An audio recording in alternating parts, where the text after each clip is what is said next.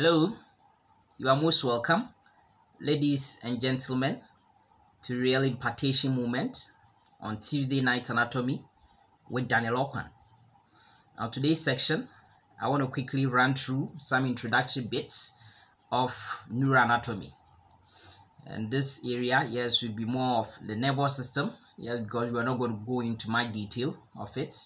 But in later sections, we will try and then go through the various aspects of the neuroanatomy. So without much ado, let's quickly run through this overview. Now, very important is that in fact the body has about 11 systems and out of these 11 systems, two of them being the nervous system as well as the endocrine system are very important components. We refer to them as the coordination systems or what they do is that they help integrate the various i mean body systems. And therefore we also call them the integrative you know systems. Now one important thing is that yes what they are doing is that they control or regulate biological activities okay? And they act by receiving information from you know other body parts. And then of course they send effector you know commands so to speak okay for various uh, motor actions to be elicited so that is why we are calling them the coordinate system or the integrative system. But one thing is that there is some kind of differences between them, which I want to quickly run through them. So with respect to the signal, okay, with respect to the signal, what we are saying is that the nervous system is mainly essentially, you know, electrical impulses, okay, that will be going through it. And therefore, you know, the endocrine system, yes, it will be chemical impulses mainly, yes, by way of secretion of hormones then the pathway taken by you know of course the nervous system will be mainly through neurons. Okay they are the excitable cells in the nervous system. And then of course for the endocrine system okay the product to be released directly into of course the blood to affect a target organ then with respect to speed of you know conduction or speed of I mean information flow, then what we are saying that in the case of nervous system, because it's more or less electrical in nature, yes, it's going to be very fast, very rapid compared to that of the endocrine system. And then the effect, because nervous system is very fast, likewise, its effect is also short-lived. But in the case of, uh, I mean, endocrine system, it's actually going to have a long-lasting effect. Then what we are saying that in the case of nervous system, it could be voluntary or involuntary. Yes, we see the somatic nervous system being voluntary, you know, the autonomic being involuntary. Then of course for endocrine, it is solely, you know, involuntary because you have no control, uh, you know, with respect to the type of hormone which will be secreted, you know, inside you. Then of course, with respect to the target, you know, action, target area of target, I mean action, be the cell or tissues around, yes, it's going to be by way of the nervous system. Yes, usually localized. Okay, usually localized. But for endocrine, the hormone which is released into the blood usually, you know, travels, you know, quite uh, longer distance to affect, you know, a target organ. Okay, so it's a bit distant compared to that in the case of the nervous system. So these are some distinctions that we have between the nervous system and of course the endocrine system being the two endocrine systems that we have. So we get to know the various components of the nervous system, the brain, spinal cord, you know, the various nerves. And of course for endocrine system, talk about, you know, the pituitary gland, you know, talk about the thyroid gland, other, you know, glands. When we look at endocrine system, we look at all these ones. So importantly, the nervous system is doing three main functions. Is doing three main things. The first thing is that yes it's having you know what we call sensory neurons okay? It's having sensory neurons. So these sensory neurons will receive information from sensory receptors okay from the environment. And when i talk about the environment we are talking about both internal environment as well as external environment okay? So sensory input will be taken there. So it will be a function of the nervous system then of course within the spinal cord and of course the brain yes that is where you know uh, integration is actually going to take place processing of that kind of information which has been received from the environment okay? And then from there yes based on previous i mean experience other processing will take place for an appropriate you know action to be taken. And these actions will be the output. So the motor output yes either it will cause a muscle to contract and these muscles yes we talk about you know skeletal muscles smooth muscle cardiac muscles.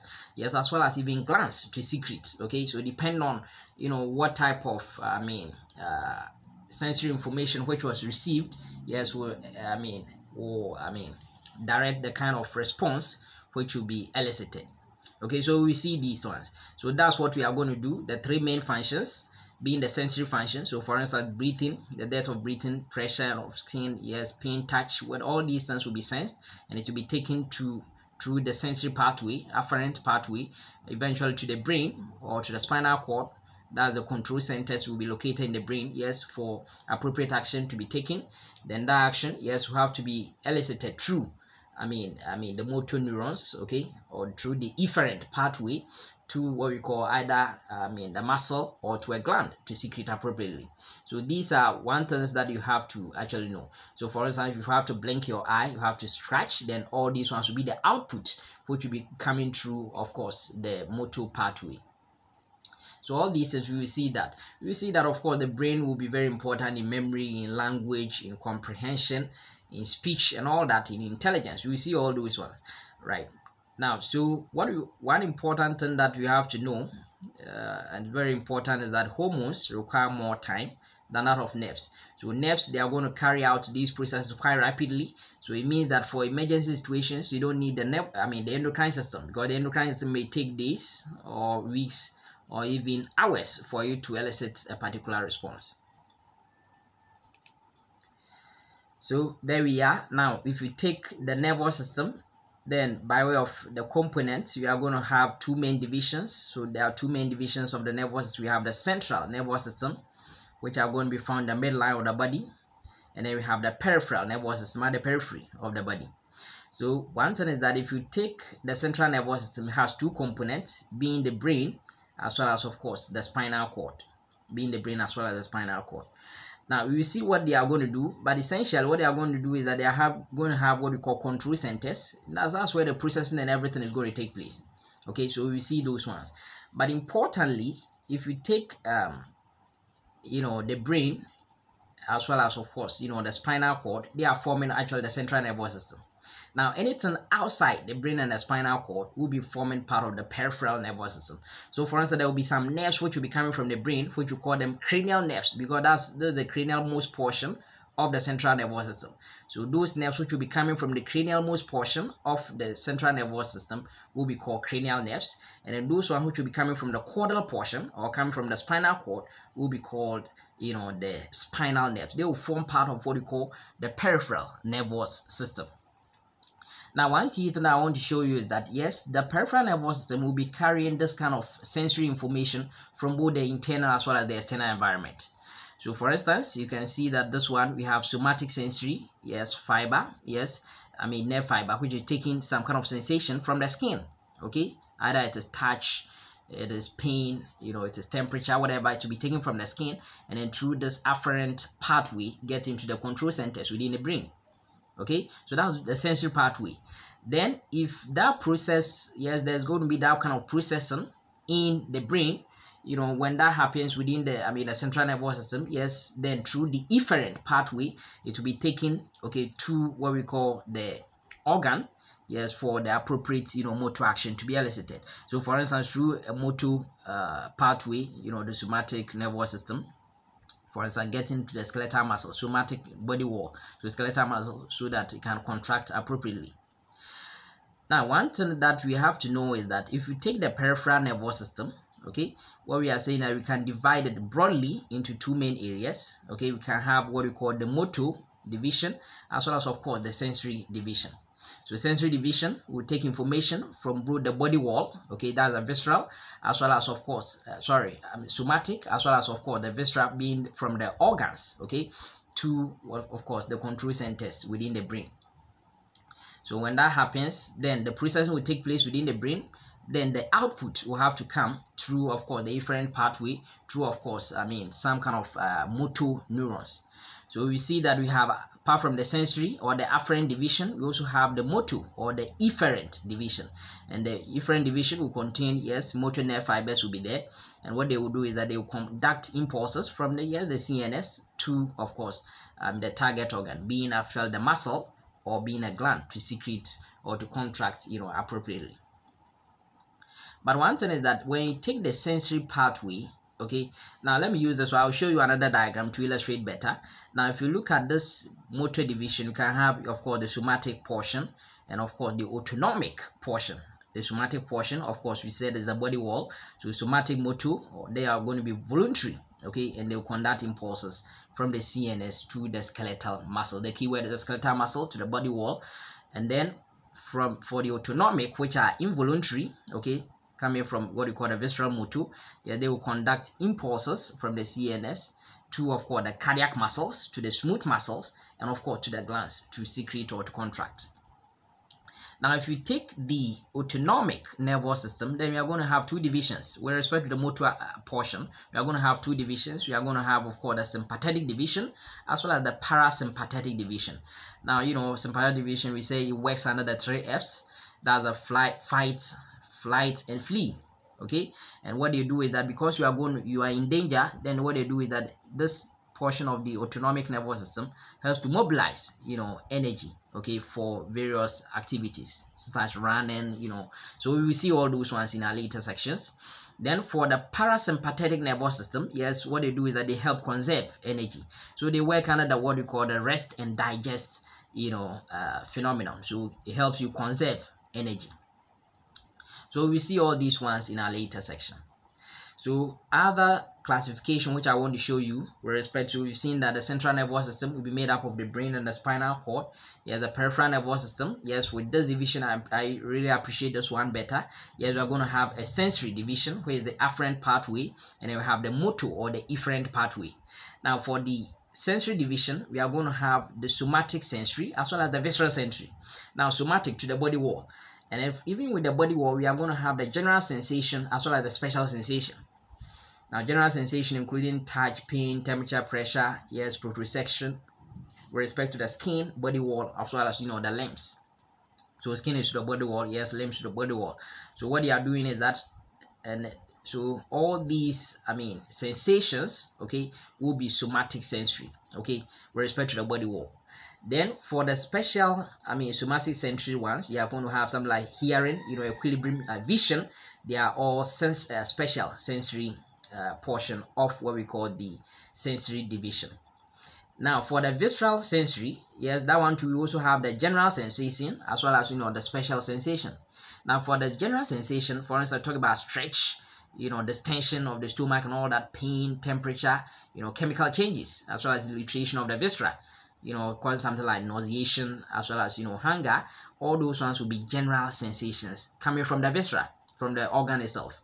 But the special ones which will be detected by the organ, so for instance, taste for the tongue, helping in tasting as well as you know the you know the smelling which or the olfaction which could be uh, by of course you know uh, us uh, in the nasal cavity lateral or the nasal cavity yes we are going to see all these ones and those ones are special sensations now, the other hand of the peripheral nervous, apart from the sensory division, is the motor division. Now, the motor division, we are going to have the somatic nervous system, as well as, of course, the autonomic nervous system.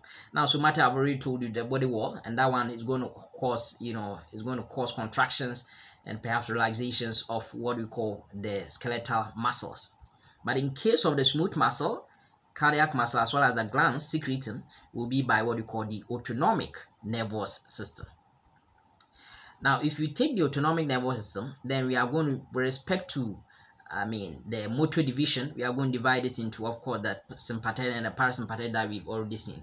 Sympathetic working under the three Fs, fight, flight, and flee. And of course, parasympathetic under, you know, rest and digest, helping to conserve energy.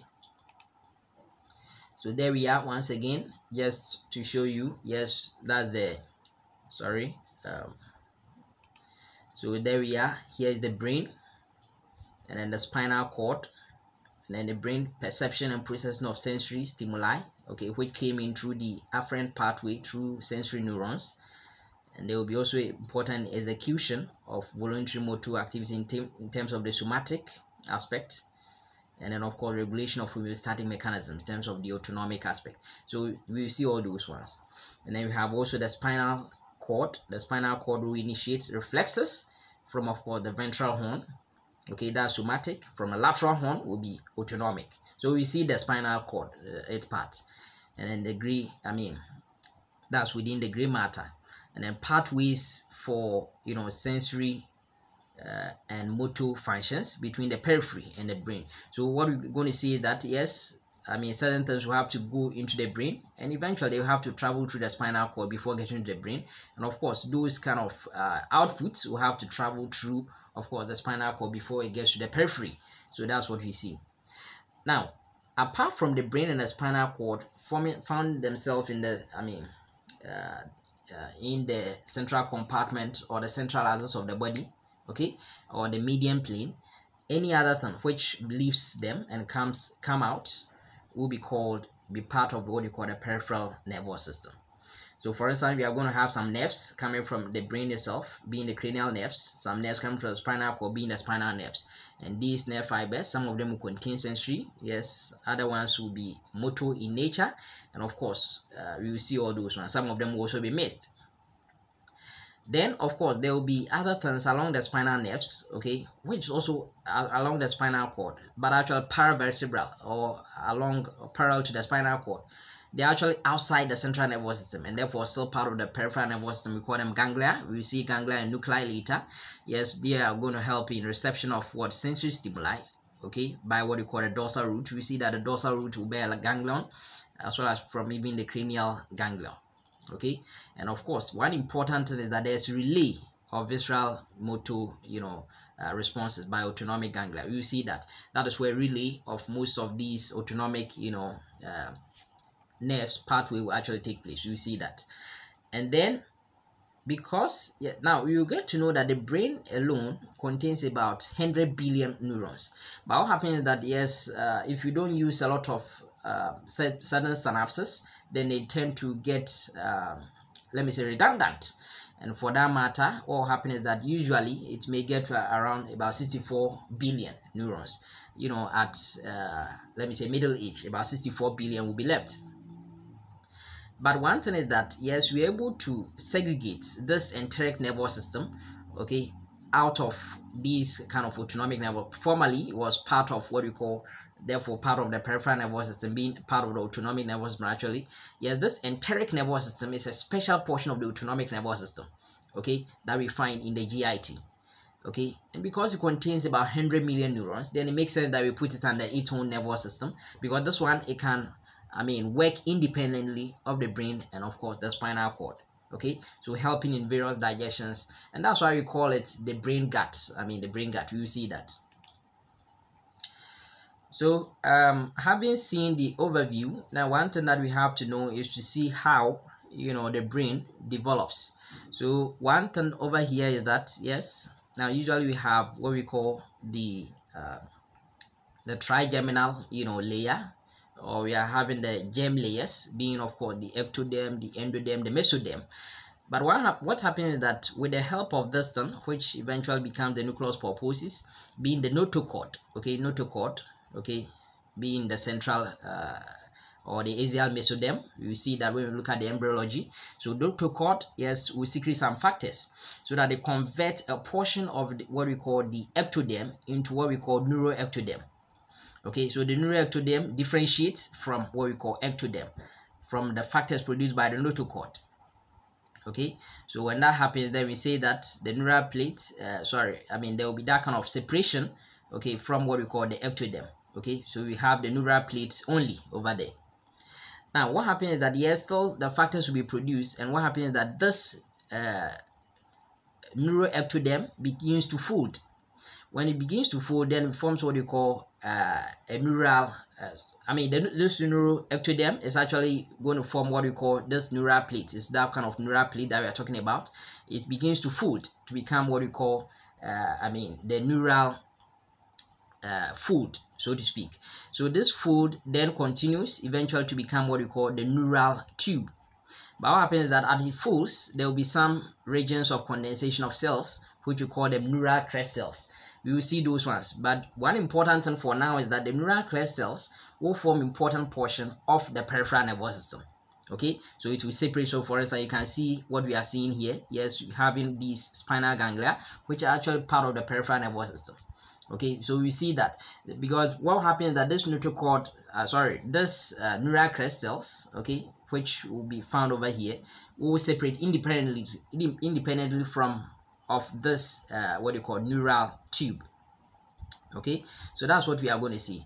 It will have yes mesenchymal derivative as well as neural derivatives. But as far as the neural derivatives are concerned as well as the mesenchymal derivatives are concerned most of them will give rise to components of the peripheral nervous system so we now have a neural tube okay? So that's what we are going to have. Now it is this neural tube which is going to actually have what we call an anterior neural pore and a posterior neural neural pore which will later will have to close okay? So one key thing over here is that every component of the central nervous system will be produced from what we call the neural tube.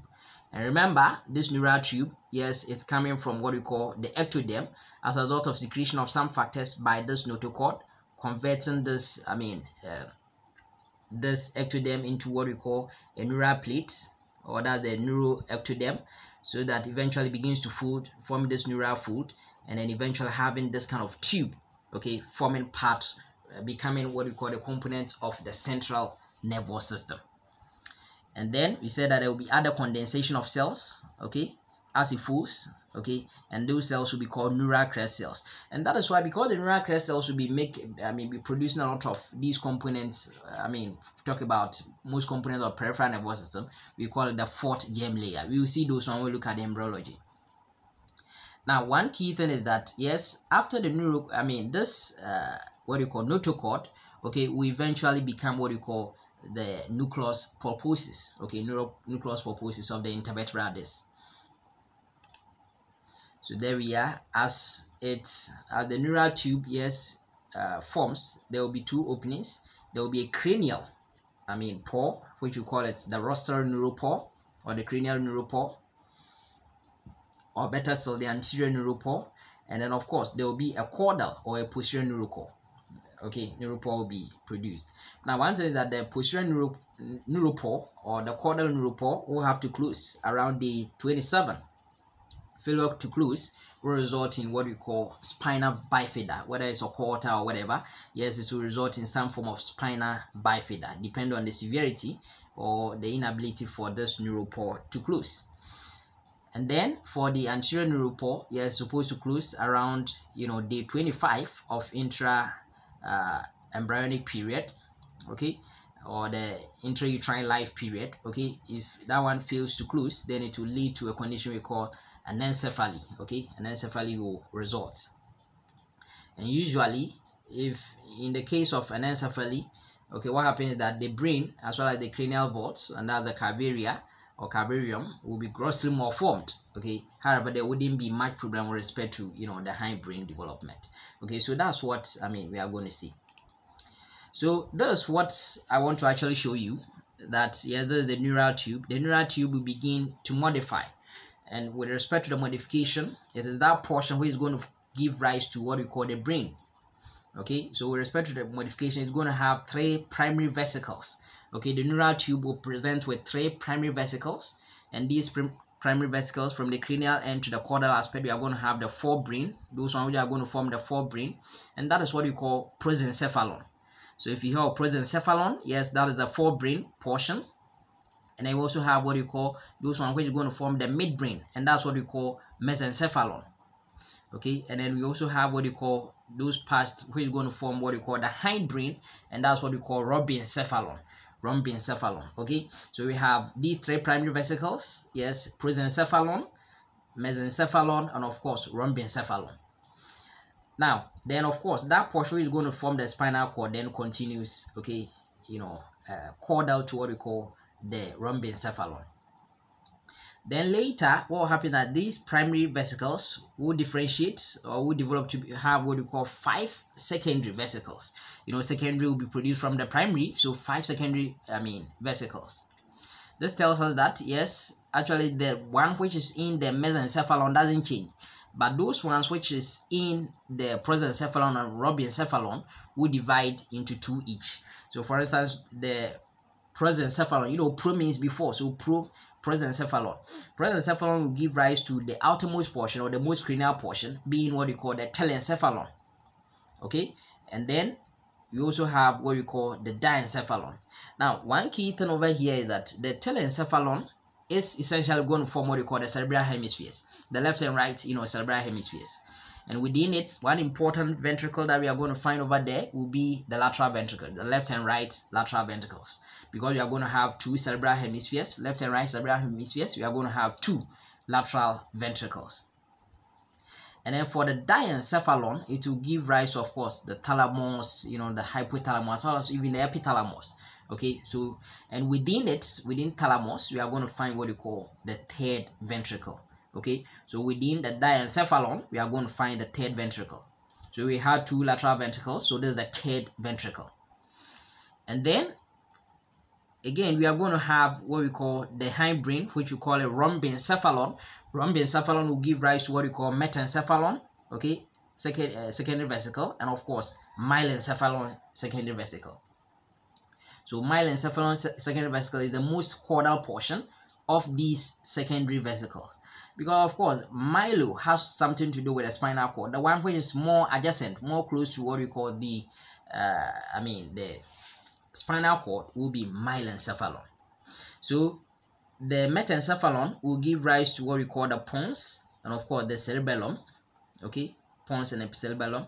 And of course myelencephalon will give rise to what, what we call the medulla medulla oblongata.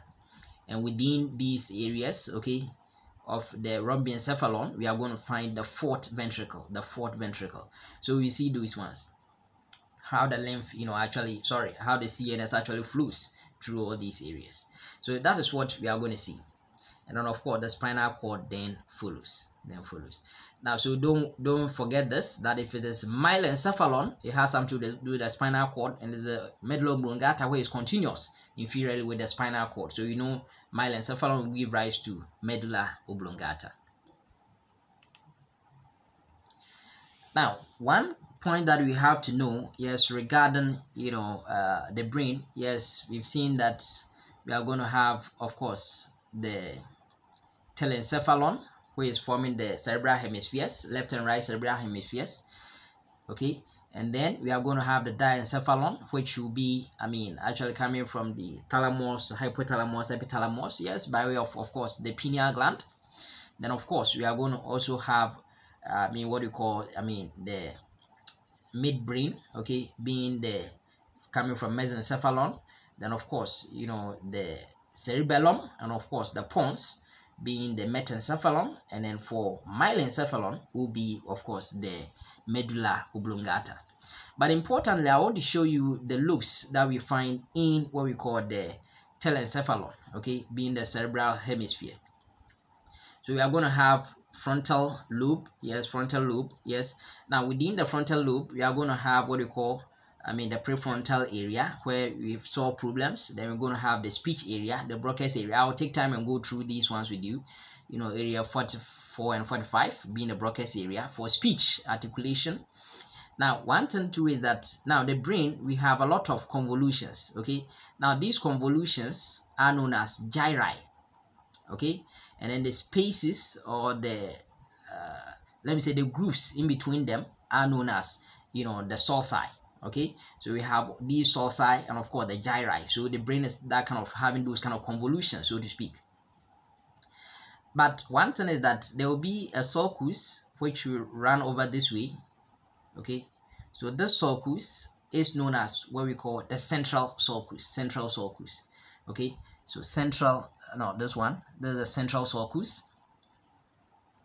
okay central sulcus.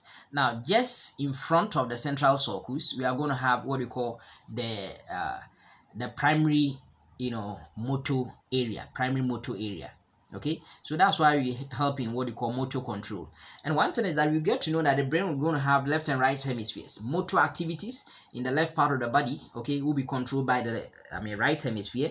And motor activities in that of the uh, i mean right part of the body will be controlled by what we call the left hemisphere of the brain.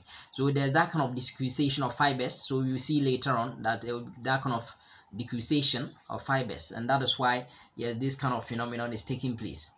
Okay? So there's that kind of contralateral control of motor activity with respect to the hemispheres of the brain. Okay? That's very good. Now behind the central sulcus we are going to have what we call I mean the post-central gyrus. Okay, so there's a pre-central gyrus where we are going to have what we call the motor, I mean area, okay, primary motor area. Then the primary sensory area will be behind the central sulcus, and that is what we call the I mean the primary sensory area okay primary sensory area and that is why the parietal lobe yes will be important in touch perception you know body orientation and sensory discrimination okay will be done by the parietal you know lobe then importantly yes the occipital lobe mainly for i mean vision okay? So area where we have the occipital lobe yes for sight visual reception and visual interpretation will be done in the occipital lobe. And then of course you know parietal lobe where the ear is located around the area yes you have help in auditory processing you know language comprehension. Now get to know this one is language comprehension and that is where we have the Wernicke's area. Now in the frontal lobes we have where speech will be produced and that's the Broca's area which means that yes uh, if someone for instance yeah usually you find this in the Broca's area will be found usually in the left lobe of the I mean the brain okay? Left lobe of the fr frontal lobe of the brain. But in case of female there's an accessory i mean Broca's area okay in there. And Broca's area is important in i mean production of speech. So for instance if there's some kind of cerebral vascular accident okay stroke some kind of stroke and there is no blood supply getting to what we call the Broca's area then what will happen is that the patient may have inability to speak although could formulate, could understand whatever is going on because the Wernicke's area of perhaps is intact, then what will happen is that the problem will be the articulation of speech. And that even goes on to explain why, you know, if, if you have, uh, let's say, a male and a female, you know, both of them presenting with stroke to the left uh, lobe of the, I mean, left uh, lobe of the frontal lobe or the left hemisphere of the frontal lobe actually. Yes then that what will happen is that usually the female may be able to speak you know slightly compared to that of the male. And that even also explains why you know if you have a neonate okay a child a female child learns to you know speak earlier compared to that of the female.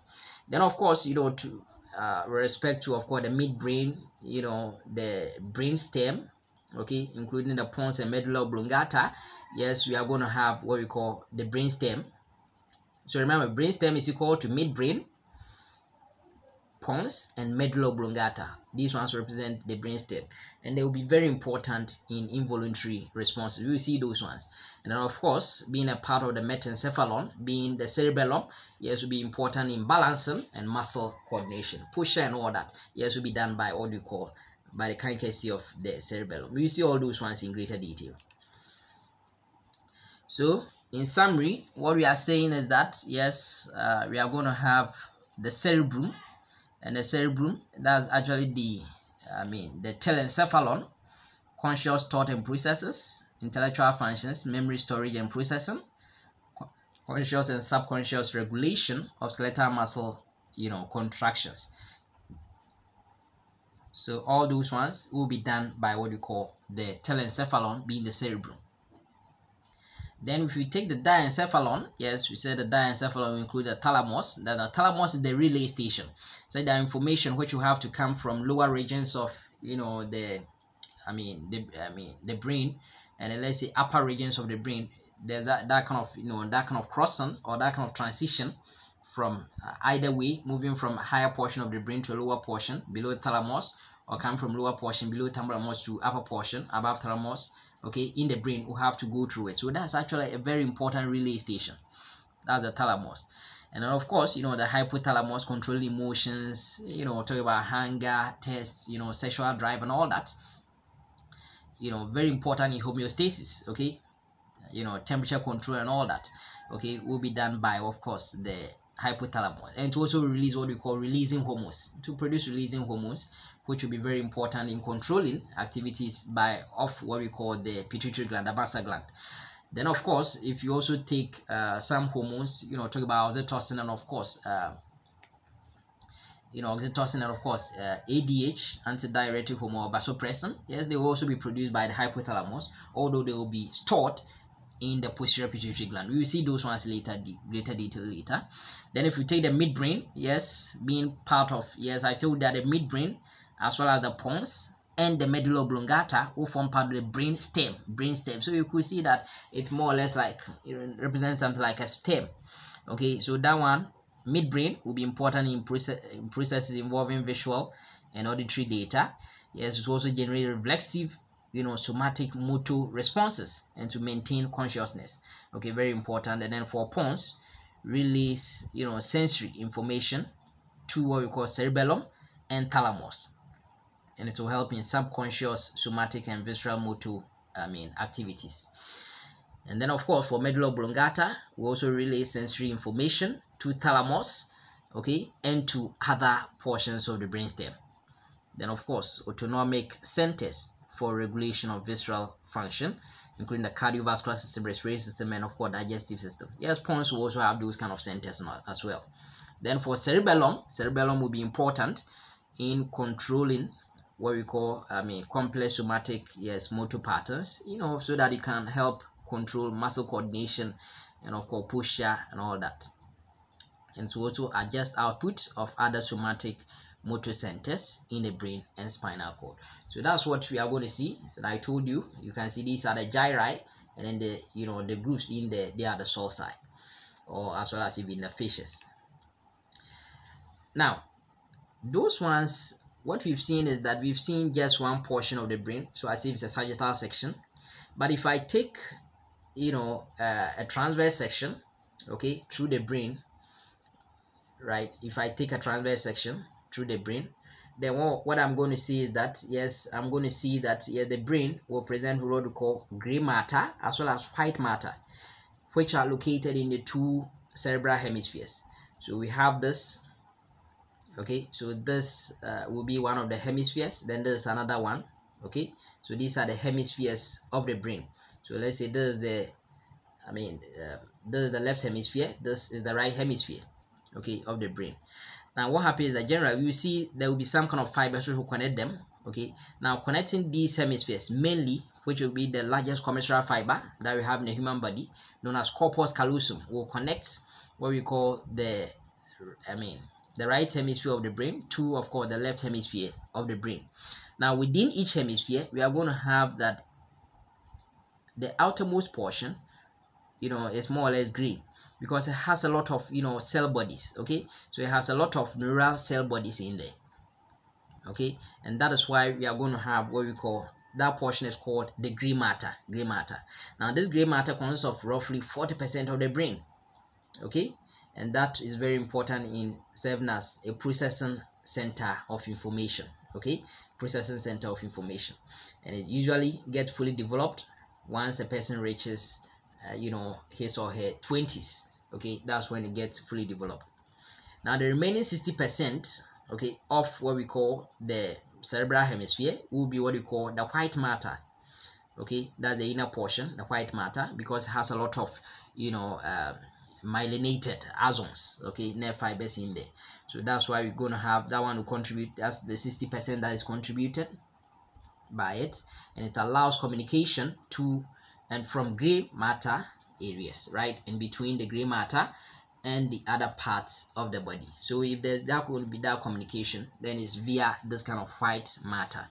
But usually what happens is that it develops throughout you know the a20s but it peaks around middle age. So uh, that is what uh, we have to actually see. Now there are other things although we are talking about you know white matter gray matter we are saying that gray matter yes as you can see over here will be found at the periphery of the cerebral hemisphere then within it will be white matter.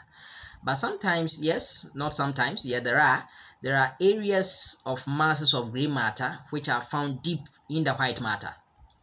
And they're actually going to be found between now this is the thalamus usually found between the thalamus and the white matter okay? That's where you're actually going to find them and these ones are known as uh, what we call basal nuclei.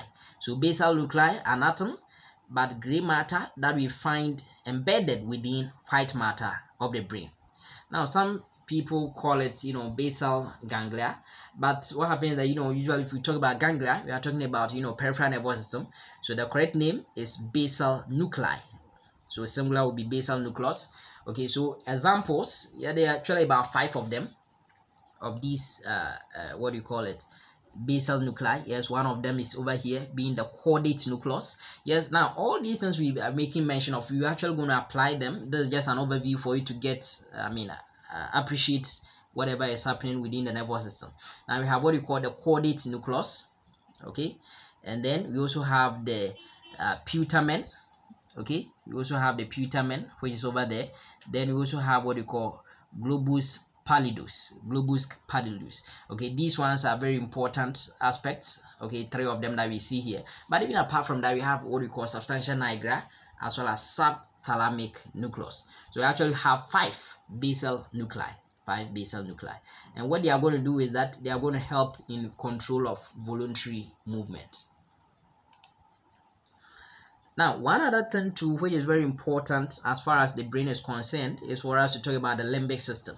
Okay, we will talk about all these things in greater detail, but we have what we call limbic system. Now, limbic system has three components, and these are what we call the hypothalamus, which is part of what we call the diencephalon. Okay, so here's the thalamus. Yes, beneath the thalamus, we are going to have the hypothalamus. Okay, or let me say anteriorly to what we call the thalamus, we are going to have the hypothalamus and then apart from that, we are going to have what we call the hippocampus as well as what we call the amygdala. Okay, so uh, uh, sorry. Now we have what we call the hypothalamus. Yes, we've seen that. Sorry, here is it, hypothalamus. Then we're going to have what we call the hippocampus, and then we're going to have what is called the amygdala. So amygdala is cranial to what we call the hippocampus. So what we see is that, yes, if we take the hippocampus, it will be very important in what we call emotions, okay, as well as learning and memory, okay, hippocampus.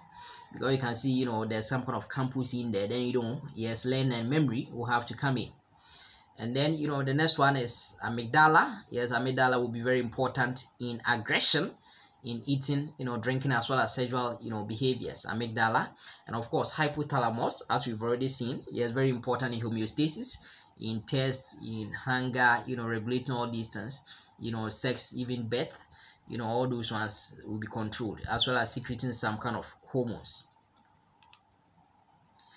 Now, we've seen that the brain is going to have left and right hemispheres, and within each hemisphere, there will be several areas, there will be several loops as well as convolutions, which we call them gyri. Then one thing is that, yes, then of course we have other areas which are below, other areas which are above. Okay, I told you that the thalamus will be very important relay center between structures which are below and structures which are above. And that is why there should be some kind of fibers which will have to connect various areas of the brain. And those fibers, you know, we classify them into three. We have one of them is called association fibers. Now i will show you the association fibers. I have a slide to show that. Association fibers okay? So what association fibers will be doing is that they are going to connect various areas of the brain but within the same hemisphere uh, various cortical areas of the brain within the same hemisphere so this is an example of an association fiber we see other examples okay then we also have uh, what you call the commissural fibers. Now, commissural fibers will rather connect different areas of different cerebral hemispheres. In fact, it could be the same area or different areas of different cerebral hemispheres. Okay, so what will happen is that yes, there's an area of this brain. There's uh, there's a right hemisphere. There's a left hemisphere. They are connected via this. I mean, commissural fiber okay and the largest commissural fiber that I have in the human body is known as corpus callosum corpus callosum over here then we may also have um, now even apart from that i'll show you other you know commissural fibers. You know talk about anterior commissure posterior commissure habenular commissures yes there are other examples of you know the uh, uh, what you call commissural fibers. And then we also have what you call projection fibers. So for projection fibers they move up and down. Okay? So what we have is that projection fibers will contain both afferent fibers okay as well as efferent fibers. So i told you that afferent fibers they will be carrying impulses okay to the cerebral cortex. So they will be carrying it this way moving in this manner okay to the cerebral cortex. Then also sending those uh i mean commands away from the cerebral cortex to lower portions of the brain and beyond will be through what we call the efferent fibers. So what we have to know is that these are projection, they project mm, up and down the brain. And that is what we call projection fibers. Okay? So what they do is that they are going to connect cerebral cortex with subcortical gray matter of you know the basal ganglia you know apart from that you know thalamus brainstem and of course the spinal cord spinal cord. We will get to know there will be other areas. Yes uh, uh, you know we, they also form something we call corona radiata as they give off some radiations over here the projection fibers as well as even they give off some kind of crus cerebri mm, they give off some kind of crus cerebri. There's that kind of decussation forming that kind of cross so crus cerebri. So these are the things that we are talking about that there are going to be three fibers which will connect different areas of the brain. Those one which are connecting the same area different areas of the brain but within the same hemisphere is known as association fibers. Those one which are going to connect you know different cerebral hemispheres or connect the cerebral hemispheres will be known as commissural fibers. And those ones which are going to project more or less vertically okay connecting various areas above and below the sorry uh, i mean yeah yes various areas above and below the thalamus yes will be called what we call uh, projection fibers so i want to actually take a closer look at this now look at this now this over here is actually what we call the corpus callosum. Now there's a sagittal section showing you the corpus callosum, this one. The corpus callosum is the largest commissural fiber. It's going to have a body. It's going to have what we call the genu, okay, as if it's uh, angulated here. That's the genu. And then it's going to have the most cranial portion being the rostrum, okay, being a rostrum. Then the most posterior portion being the splenium, okay. So we have to know the splenium the most posterior portion then you have the body you have the genu and of course you have the rostrum forming part we will see all these ones in greater detail okay later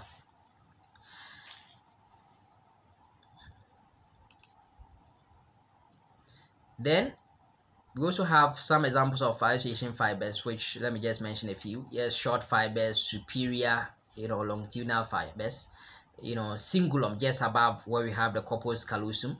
Yeah the uncinate uh, you know fasciculus or uh, then you have inferior longitudinal i mean uh, fasciculus.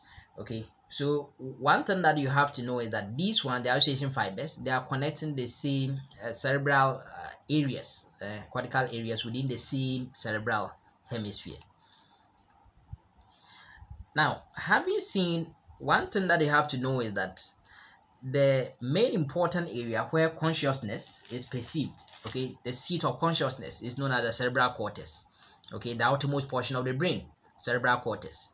And this one yes is having you know surface layer of gray matter yes that's going to be a gray matter roughly three millimeters in thickness okay and then to have what we call the neocortex or the new cortex having about six layers and that forms about 90 percent of the cortex okay? And then that's the newest part of the cortex that's the paleocortex and the archicortex okay? And the layers vary in thickness in different regions of the brain. So i'm actually going to show you that now in this slide what i want to show you is that if you look at the seat of consciousness being the cerebral cortex having this new cortex this new cortex this new cortex is having six layers and within the six, layers there are two cell types which you are going to find them there. In any case not in all the layers. And these two cell types are going to be the stellate cells and the pyramidal cells. Now stellate cells yes the name suggests what the shape is like star shaped so to speak. And because they are star shaped you have a lot of dendrites dendritic processes coming out of it. So you can see those cells with a lot of dendrites they are the stellate cells then we have another type of cell which we call it pyramidal so triangular pyramidal shape so to speak. And those one will have an axon that passes out of the area into the white matter. So it is moving all the way from the gray matter even into the white matter. So moving out all the way even away from the cerebral cortex. Okay so those ones with a very you know for instance this having a very long axon yes moving into what we call the i mean white matter. We call it uh, the uh, i mean what do you call pyramidal cell. So there are two cell types which you are going to see in the cerebral cortex, the seat of um, consciousness. And these two cell types are the stellate cells, star-shaped, having a lot of processes, a lot of dendritic processes, and then the pyramidal shaped cells having you know very long axons which can reach you know the uh, uh, what do you call white matter. So the six layers schematically we want to see them. And these six layers are yes the la first layer is called the molecular layer molecular layer. Okay so this is the molecular layer. Layer one is called molecular layer. And one thing about the molecular layer is that yes what we are going to see is that you see axons and dendrites. So we are going to see yes axons as well as dendrite these are the two main components we are going to see in the molecular layer and one thing is that by way of the afferent pathway what happens is that it carries or it is from other regions of the cortex and the brainstem. So the cortical area itself okay as well as the brainstem okay and then two or with respect to the efferent aspect okay so carry two regions of the cortex okay. So there's some kind of association fibers over there which is doing all these things. So intracortical association functions okay? So molecular layer axons and dendrites are the components. Okay? So you can see the axon as well as the dendrite. Dendritic processes will be there. And then we are going to say that it is from by way of afferent it is from other areas of the cortex as well as the brainstem. Okay? Other areas of the cortex as well as the brainstem. When i talk about brainstem i don't need to tell you that i'm talking about the midbrain. I'm talking about the pons as well as the medulla oblongata. And then two other areas of the cortex other areas. So from other cortical areas to other areas of the cortex. And that's why we talk about the intracortical association. Association fibers doing that. Now the second layer is known as the external granular layer external granular layer. Okay? So we are going to so from external to internal we have the molecular layer external granular layer. Now this external granular layer yes will contain densely packed okay densely packed stellate cells star-shaped cells. So this, this is the schematic representation densely packed star-shaped cells. As well as yes of course densely packed small pyramidal cells. As well as you know these densely packed small pyramidal cells. And that is why because of the presence of these small pyramidal cells we call this second layer or the external granular layer you know the small pyramidal cell layer small pyramidal cell layer okay? And that one too is from other regions of the cortex and the brainstem to of course uh, other regions of the cortex that kind of intracortical association function taking place there once again. Then we have the third layer. So from external granular we go to external pyramidal okay layer so it means that the key cell over there will be these pyramidal cells. But you can see that these pyramidal cells are larger than the previous ones that we've seen. Okay so these are medium-sized pyramidal cells. And that is why we call the third layer or the external pyramidal layer the medium i mean pyramidal layer or medium pyramidal cell layer. Okay so what you see is that because these pyramidal cells are very large they don't tend to have that kind of compact nature as we saw in the case of the i mean external granular layer. So the external pyramidal layer or the medium size pyramidal layer cell will contain medium pyramidal cells okay with loosely packed stellate cells. So loosely packed stellate cells also embedded within it. That one is also coming from yes other regions of the cortex as well as the brainstem okay to of course you know other regions of the cortex then we also have what we call the fourth layer is the internal granular layer. We've seen the external granular layer external pyramidal layer. So the next one is internal granular layer. Now the internal granular layer yes will consist of densely packed stellate cells only. So the keyword the fourth layer you find only stellate cells. Fourth layer only stellate cells densely packed as you can see over here. And it's also coming from other regions of the cortex and the brainstem and more importantly also coming from the thalamus mm? also coming from the thalamus. There are no efferents okay for the i mean fourth granular layer. Then for actually the fifth layer the fifth layer we call the internal pyramidal layer. But this cell you find only large pyramidal cells. You find only large pyramidal cells. Okay? There are no you can see that there are no stellate cells so what you can remember is that the fourth layer you have only stellate cells. The fifth layer you have only pyramidal cells. But these only pyramidal cells are larger than previously i mean pyramidal cells previous pyramidal cells that we've seen. And therefore that is why this fifth layer is also referred to as large pyramidal cell layer large pyramidal cell layer. And by way of afferent from of course the brainstem okay of course you know the midbrain pons and medulla to of course the brainstem once again and spinal cord. So it's going to be via what you call some projection fibers. Unlike the association fibers that we've seen in the case of the first three layers of the cerebral cortex you know the fifth layer okay will be via projection fibers. And then we also have the sixth layer and the sixth layer is what we call the multiform or we could also call the polyform layer. So there's that kind of different shapes. So different shapes. That's why we call it polyform or multiform. And those one have multiple sized pyramidal cells okay with you know loosely packed stellate cells also in between them. So we have different small pyramidal cells medium sized large pyramidal cells with stellate cells also embedded within it. And by way of efferent there are no afferent efferent to the thalamus. So this one you have to actually understand this okay very well now one key thing is that yes apart, from you know uh, bony pro protection apart from meninges one other thing which will also be very important uh, in protection by way of shock absorption by way of giving nourishment as well as removing waste will be csf cerebral spinal fluid. So we want to actually go through how cerebrospinal fluid you know flows uh, we will look at the various you know ventricles in detail okay? Look at ventricles of the brain in detail. But one thing is that now the first point is that now just below so forming the roof of what we call the lateral ventricle over here is the corpus callosum. So over here we are in the lateral ventricle. The brain has four ventricles two lateral ventricles a third ventricle okay? And then of course a fourth ventricle. So we are looking at the lateral ventricle so we say that csf will be secreted. Now in the floor of the lateral ventricle there are some granulations over there. We call them choroid plexus. Choroid plexus.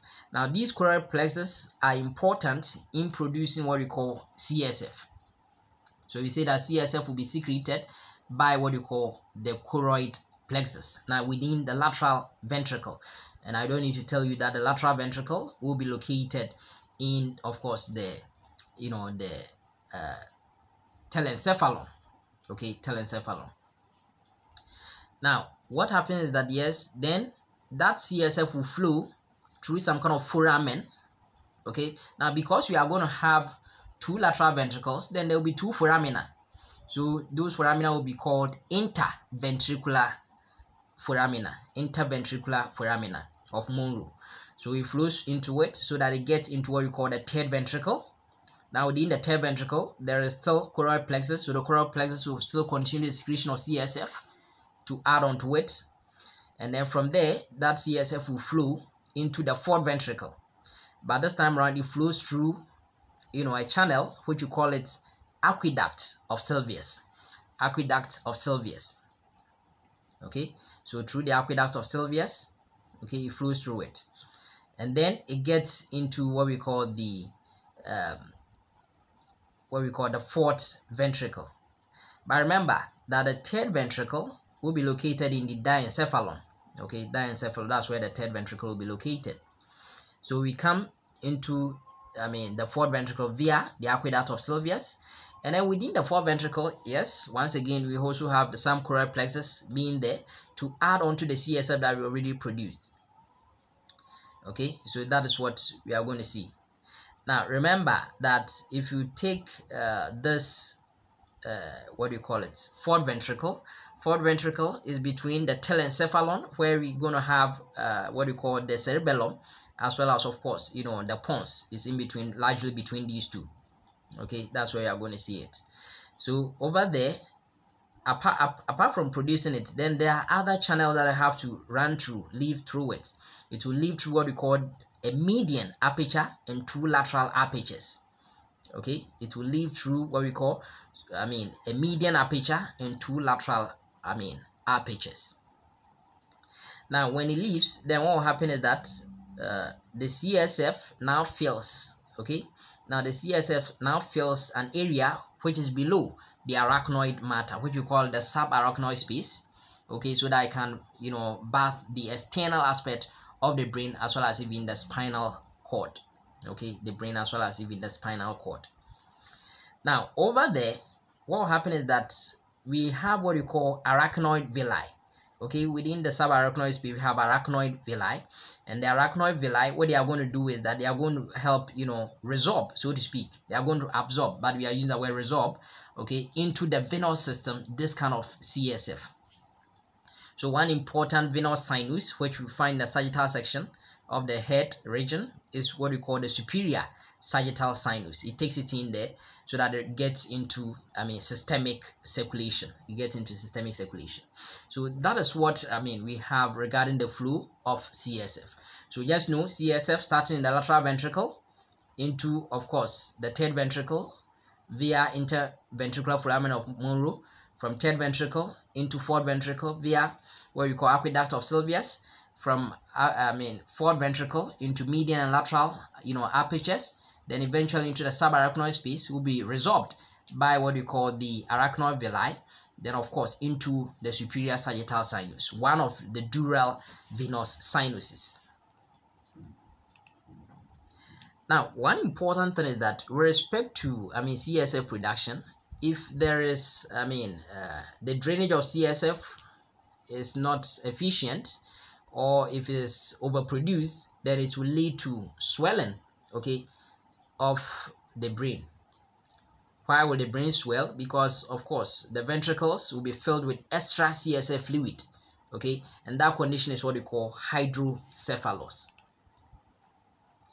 now talking about the protection we've seen one of them being the csf very important bathing the external aspect of the brain absorbing shock and all that. Yes we also have what we call the meninges.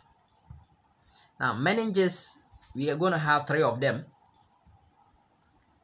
And these three meninges yes from uh, just away from the i mean the cranium okay to the inner portion or to the external aspect of the brain we are going to have what you call i mean the dura mater we are going to have the arachnoid mater and the pia mater and the dura mater you know can also be called pachymeninx okay? So the pachymeninx okay is what we call the dura mater pachymeninx is the dura mater and it's actually made of fibrous components and it's actually in inextensible it's inelastic so to speak okay and what it's going to do is that yes it forms that kind of sheet or false that separate the cerebrum and you know cerebellum into the hemispheres and of course the I mean cerebellum from the cerebrum. Okay, so we see some nice falx cerebelli, falx cerebri. Those ones are coming from modifications of what we call the I mean the dura mater.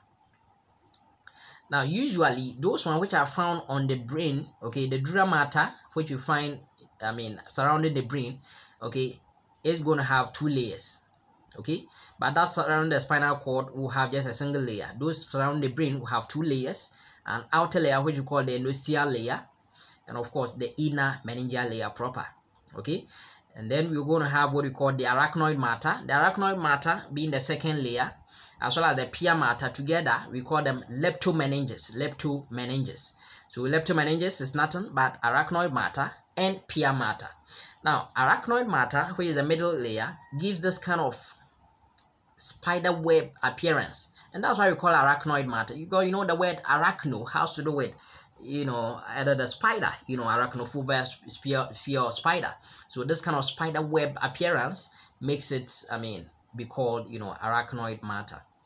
Then the inner one which is made of loose connective thin okay rich in a lot of blood vessels is known as pia mater pia mater pia mater. so pia mater just lies and it's having this kind of convolutions the contours or that gyri nature of the brain yes it follows the same gyri and it is rich in a lot of blood vessels. Now talking about these meninges there are some areas or spaces that we find around these meninges. And these areas or spaces are one subarachnoid space. Now the word sub means below so sub means yes it's going to be found below what we call the uh the okay so there's the arachnoid mater. So below the arachnoid mater will be a space and that space is called subarachnoid space. And therefore we can also say that is that space which will be between the arachnoid mater and the pia mater and then we also have what you call a subdural space. So we saw the dura mater very durable. And below it before you get into the arachnoid mater we are going to have another space. And that space is what we call subdural matter subdural matter. Okay? So that is what uh, we are going to see. And then we are going to have what we call epidural space epidural. Now the word epi means above okay epidural space. So there will be another space which will be found above you know what we call the uh what we call i mean the dura mater okay? So that space will be actually be found between the dura mater and vertebral canal okay in the spinal column. And that is what we call the epidural space. Remember csf will be running in the subarachnoid space okay subarachnoid space now let's look briefly into what the spinal cord is about. Yes the spinal cord will be protected yes by of course the uh, bones of the vertebrae. Apart from that of course csf will do that as well as even the meninges okay will help you know doing that kind of protection to it. Now if you take the spinal cord roughly 45 centimeters long yes ending around somewhere you know l2 vertebral level okay? So it's actually going to begin in the cervical just continuation of what we call the medulla oblongata in the neck region. So we have the cervical component and we have an area of the cervical region which presents an enlargement over here. Without cervical enlargement then we have the thoracic component then we have the lumbar component okay which will end in a cone like structure which we call the medullary cone and then you have the you have the sacral components okay ending the medullary cone and then the remaining portion forming that kind of uh, we have the filum terminalis and of course you know you have the cauda equina like the horse's tail okay so that's what we have. Now one thing that you have to know is that there will be another enlargement in the lumbosacral region or in the lumbar region apart from the cervical enlargement there will be another enlargement. And that's why if you take these cross sections you can see that in the cervical region showing this kind of enlargement this one also showing that kind of enlargement over here. So one thing is that there will be some kind of nerves. I told you that there will be nerves leaving these areas brain as well as spinal cord. So the nerves coming from the i mean spinal cord they are the spinal nerves. So those ones emerging from the level of the neck region will be called cervical nerves and surprisingly we are going to have eight of them c1 to c8 unlike we we're having seven bones of the vertebrae cervical nerves will be eight c1 to c8 and then for the thoracic nerves they will be t1 to t12 that one no problem. Then of course um for the lumbar region yes that one is also five. That's l1 to l5 okay in that manner leaving those kind of uh, intervertebral you know foramina over there. Then we also have uh, the sacral component okay? For the sacral component we are going to have s1 to s5 okay? That one also come out. Um then we also have what we call the coccygeal parts okay? Also come out. And then we also have the portion which we call the filum terminalis okay? Filum terminalis. Now all these ones that you see this kind of um, horsetail like appearance that you find over here is known as the cauda equina cauda equina so that is generally how the spinal cord you know looks like. And remember you see the spinal cord follows the curvatures of what we call the vertebral column. Okay having those kind of secondary curvatures primary curvatures over there. So we've seen those ones. Okay now remember that the spinal cord will be very important in conducting you know afferent stimuli. Okay bringing those ones through the sensory i mean i mean you know through the sensory pathway afferent okay to eventually to the brain. And it also conducts that kind of you know efferent stimuli okay coming from you know the brain to the effectors. And when i talk about the effectors i'm talking about you know the glands secreting as well as the muscles contracting. And they also be very important in in i mean integration of reflexes. You know reflexes uh they are that kind of um you know uh, immediate and automatic response okay that one initiates okay? And it's very important these kind of reflexes reflex actions will occur along the short pathway we call them reflex arcs okay? So that yes it helps to protect the subject from further injury. And, you know examples blinking of the eye you know after touching you know fire or getting uh, let's say pin uh, let's say getting pricked by a pin then you quickly remove you know talk about the knee reflexes. All those ones will be taking place you know along where we have the spinal cord. Now this one uh, i'm just going to show you something. We'll go to a greater detail of it later. But one thing over here is that if you take you know a cross section through what we call the spinal cord then what will happen is that it's going to bear what we call i mean posteriorly it will bear what we call a sulcus but anteriorly it will bear what we call a fissure. So the fissure is quite deeper compared to that of the sulcus. So if you have the spinal cord for you to know the ventral portion as well as the dorsal portion, or for you to know the posterior portion, as well as the anterior portion, just look at the nature of the fissures. Okay, that one will help you to know that. Now, again, one other thing too that you find is that unlike in the case of the brain, where we had white matter inside, this time around the white matter, okay, inside inner portion will be gray matter then the outer portion will be white matter. And that's the distinction that i have to know regarding the brain and the spinal cord. So the gray matter over here form what we call horns okay will form horns. Now in between the gray matter sorry there's a central canal okay where csf will flow okay in the spinal cord. Now the gray matter will therefore present with what we call a posterior gray horn or present with a posterior horn. It also has have a lateral horn it will have what we call an anterior horn. Okay? So that's what we are going to see regarding this one.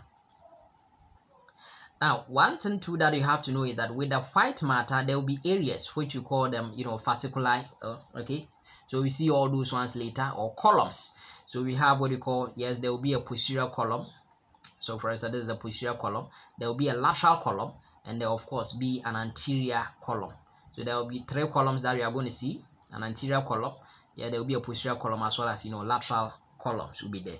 And we will see all those fasciculi later. Now one other thing too that we've seen is that we said spinal nerves will be coming out of it. But these spinal nerves will actually be formed from what we call yes now we are going to have the one coming from the posterior aspect because this is where we have what we call the posterior median sulcus okay? This one is known as the posterior root of the spinal nerve. So there will be a posterior root and then there will be an anterior root. Together form what we call the spinal nerve. And then the spinal nerve will further divide to give us uh, a posterior ramus and an anterior ramus. Okay, so we see those ones. But one thing that we see is that the posterior horn, uh, sorry, posterior root of the spinal cord will bear, you know, a ganglion. And that is what we call posterior root ganglion or the dorsal root ganglion. So we see the other ones, okay, later. Now, one other thing too that I have to tell you, very important, if we look at it, is that in the lateral horn, that is where, I mean, there's going to be what? Autonomic motor neurons, okay, situated over here, and that is a very important relay area, okay, which we see. Very important where uh, cell bodies of autonomic neurons will be situated. More importantly, the sympathetic neurons, sympathetic neurons, you will see that so there we are. Now if you talk about now that's the spinal cord that we've seen. But the spinal cord yes i talked about its protection its protection by way of vertebral column by way of you know csf as well as the meninges. So the meninges is just like that we find in the case of the brain. Only that this time around instead of the dura mater having i mean two layers having the endothelial layer as well as of course the meningeal layer proper this one is just having a single layer okay? So that is what uh, i want you to know. Okay? So just like any other if you take the dura mater you are going to have arachnoid mater and then of course the pia mater. And of course you know between the arachnoid mater be an and the pia mater will be a uh, subarachnoid space of course where csf will have to flow but one thing to is that now look at this. Now you see this ligament, which we call denticulate ligament, or you simply call the dentate ligament. And in this dentate ligament, you can see now this is the spinal cord. Okay, now and then we have the uh, what we call the dura mater. Now the dentate ligament or the denticulate ligament is very important in anchoring, okay, in anchoring what we call uh, the spinal cord to the dura mater on either side. So on other areas, yeah, that's what we are going to see. So that's the denticulate ligament or the dentate ligament. Now, yes, we want to look at some kind of distinction between, yes, in this tabular form, between, of course, the uh, meninges that we find, okay, surrounding the brain and meninges surrounding the spinal cord. So the cranial meninges and the spinal meninges. So by way of differences, yes, then one key thing is that, yes, it is going to mainly surround, of course, you know, the brain. In the case of cranial meninges, spinal meninges, the spinal cord, yes. So mainly surround the skull, in case of cranial meninges, and of course, a prolongation from the skull all the way to the S2 vertebral level. And then one other thing is that in the cranial meninges, it may not produce an epidural space. I'm not saying it's not going to produce, it may not produce. So for instance, those ones that we saw, we didn't see an epidural space, but almost always you will find an epidural space in the case of the spinal meninges. And that one will contain, you know, some kind of fats, okay, in there. And then I told you that the cranial meninges will contain two layers of the dura mater, endosteal layer, and of course, uh, you know, meningeal layer proper and then in the case of the spinal meninges it will contain a single layer. Then for um, the cranial meninges they make folds in the dura mater between various parts of the brain. Okay then dura mater forms a dura sheet. Okay that's just a dura sheet that it forms. Then what happens again is that may do not contain a subdural space. Yes we didn't see a subdural space in the case of uh, what you call the cranial meninges but you you find that one in the case of the spinal meninges okay? And then we are saying that yes the cranial meninges will contain arachnoid trabeculae in the subarachnoid space. But in the case of what we call the spinal meninges will contain arachnoid trabeculae condensed into posterior median septum. It is condensed with posterior median septum. So these are some distinctions between, of course, the meninges we find in the case surrounding the brain and the meninges surrounding the spinal cord. Now, an important aspect which we have to really look at is for us to know the neuron. Now, the neuron is the excitable cell in the nervous system. Okay, very important as far as far as you know, uh, conduction of impulses. Okay, will be concerned. Now, if you take the neuron, what happens is that the neuron presents with two main components. We have what we call a cell body, okay, and processes. We have a cell body and process. The cell body is also called soma.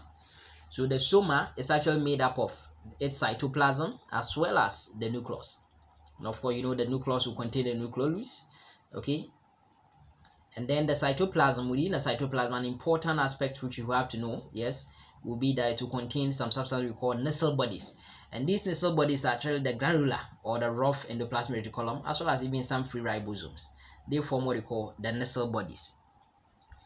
But one thing that you have to know is that an area which is getting close to initi initiation initial portion of the axon which we will look at later which you have sparse distribution of these Nissl bodies okay is known as the axonal hillock axonal hillock. So axonal hillock you may not really see these kind of Nissl bodies okay.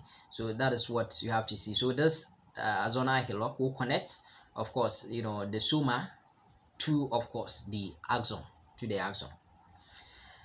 Now one thing that you have to know here is that uh, if now the cell membrane of the cell body of or the soma of this neuron is modified to give these processes. Now there are two main processes which you have to know and these two main processes are the dendrites this forming this kind of tree-like appearance over here are the dendrites and another process which you call the axon modification of the cell membrane of the you know the soma okay so this one the dendrite will be where the impulses they will be receptors so to speak they will receive the impulses and then the carrying the impulses away from the soma will be by the axon. Okay so that's what we see. So but one other thing too is that there could be some other things. Now on the axon there could be some kind of varicosities or certain things we call them boutons. And these are actually nothing but knob-like enlargement okay that you find them you know usually at the axonal ends okay? And that area will be important area where synapses can be formed with other neurons. Now when i talk about synapses what you have to know is that the synapses occur between dendrite and dendrite okay? Dendritic dendritic you know synapse. It could also be between an axon and dendrite axodendritic it could be an axon and another axon axo-axonal okay so we can have several of these that kind of uh, synapses taking place. Okay so that is what we are going to see. Now other things you find the cytoplasm yes will be of course you know the mitochondria will be there you know as well as even some kind of neurofilaments will also be there. Okay so that is what uh, you have to know. Now with respect to the number of processes. Okay so i'm talking about modification of the cell membrane of the cytoplasm. Sorry uh, cell membrane of the soma of the the neuron. If we are talking about that then we can distinguish structurally okay number of processes which comes out directly from the soma the cell membrane of the soma can therefore give us two kinds of neurons by way of structure and it's by way the first one yes it's known as bipolar neuron. The word is bi? Bi means two. It means that there will be two processes which will be extending from the cell membrane of what we call the soma the body. So you can see that this is the soma. There's one process coming out this way. There's another process coming out this way. Now these are other processes but they are not coming directly from the soma. And therefore we say this neuron is a bipolar neuron. Bipolar neuron okay so we find some in the case of retinal cells you know factory cells we see other examples. Then the next neuron now usually the bipolar neurons will be sensory. Usually by of function functionally they will be sensory in nature. Now, for the multipolar polar neurons, which are usually motor in nature, they will have several, you know, processes coming out from the body. Now, so this is the cell body. You can see there's an, there's one process here, another one, another one, another one. So several processes coming out from the body. That is a multipolar neuron. And you can see examples like you know spinal motor neuron, pyramidal neuron, Purkinje cells. You see that. Now, there's another neuron, which you call it pseudo-unipolar neuron. Now, the reason why you're calling it pseudo-unipolar neuron is that developmentally, it was a bipolar neuron, but it became, you know, unipolar, so to speak. Therefore, it is going to have a single process emerging from its cell body, cell membrane of the cell body. Okay, so you can see that this one and just one process coming out, which will further divide to give several processes. So this is a pseudo unipolar neuron, or you can also call it the unipolar you know, neuron. An example is seen in the case of the dorsal or posterior root ganglion, okay, coming from this of the spinal cord. Then, of course, we can also see other examples. You know, most of the cranial nerve ganglia, you may see them there coming from talking about the uh, trigeminal ganglia, talk about geniculate ganglia. Yes, all those ones are examples. So, so this table actually summarizes what we are talking about by way of structure. We are going to have pseudo-unipolar neuron. Example is the cranial nerve ganglia, as well as most of the cranial nerve ganglia. Yes. Then we also have the bipolar neuron, seen in the case of retina or factory epithelium, vestibular ganglion, yes, of the ear, rating the ear, then auditory or spiral ganglion. Then we also have the multipolar neuron, the multipolar neuron, we are going to see example like stellate okay? Uh, in the case star shape you know fusiform you know pyramidal one most of them find themselves in the cns you know pyramidal uh, there's piriform pyramidal ones in the hippocampus as well as second third fifth and then of course you know the sixth layer of the uh, cerebral cortex that we've already seen as Purkinje, yes fibers you know mitral cells you know chandelier yes granule and amacrine cells yes uh, we see all those ones. So for amacrine cells we see them in the retina granule cerebral and cerebral cortex you know chandelier in the visual areas of cerebral cortex you know the mitral one seen in the olfactory bulb you know Purkinje in what we call cerebral cortex. Now later we'll go into greater detail of all these ones. But by way of function, the neurons will be classified into three. We have the sensory neuron, which will carry impulses, okay? Okay, in this direction, okay, afferent, so through the afferent pathway. And then we also have what you call the relay neuron or the interneuron or the association neurons, which will connect, okay, neurons to each other to themselves actually. Then of course we also have the motor neuron through the efferent pathway okay in that manner. So that is how they do it. Yes carrying sensory impulses through the afferent pathway will be the sensory neuron. You know connecting the neurons will be the interneuron. Then relaying that kind of impulses to motor uh, motor uh, uh, what do you call it muscles to muscles or to glands for you know appropriate action will be via what we call the motor neuron through the efferent pathway. Now so what are we saying? In general what we are saying is that we are going to have some receptors okay? So for instance there will be the receptors in the skin okay? So there will be nerve sensory nerve endings within the skin. So if there's a uh, some kind of heat uh, changes in temperature whatever it will be sensed by those sensory nerve endings within the skin for instance. And these ones will be carried. So follow the i mean the cursor it will be carried all the way all the way so through. So the stimulus should be enough okay to generate this kind of uh, i mean this kind of impulse or transmission of this impulse.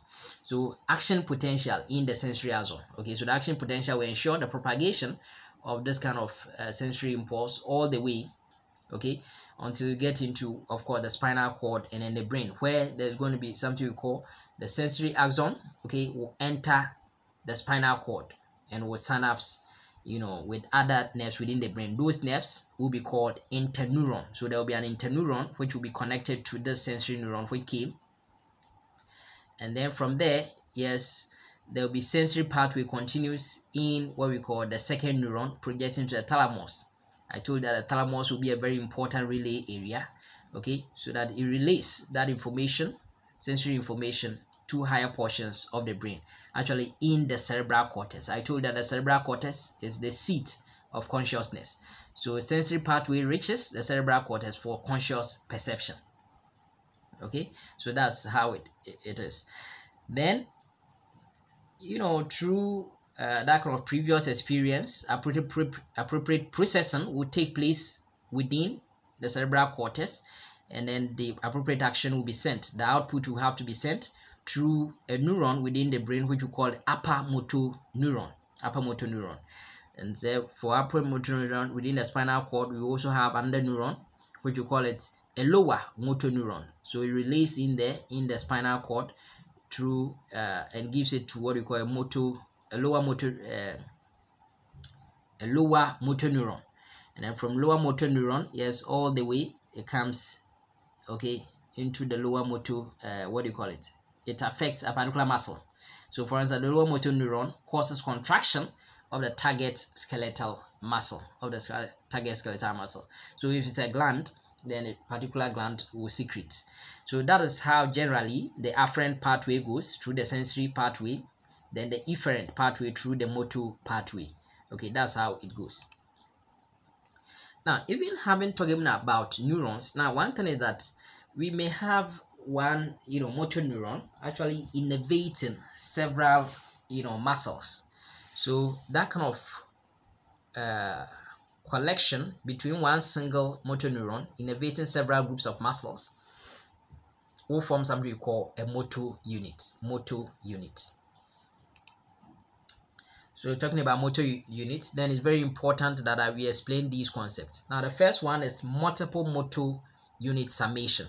Multiple motor unit summation. So that's why we say when a lot of motor units are recruited, so several motor units recruited, the muscle contracts with greater force, no doubt. And this one allows the individual muscle fibers to contract in an all or none manner while the overall muscle contracts with different amounts of force. Okay? So depend on the nerve stimulus involved. So with this multiple multi, uh, multiple motor unit summation will help in greater you know muscle contraction. Now remember muscle contraction work in an all or none phenomenon okay because an individual muscle fiber contracts with equal force in response to each action potential. So action potential is needed okay for uh, what do you call it? Should reach a particular threshold okay for the uh, muscle contraction to okay if that threshold is not reached then no muscle contraction occurs. So we have a sub-threshold stimulus okay that one is too small to create an action potential in the neuron and therefore that muscle will not contract now, we also have what you call threshold stimulus.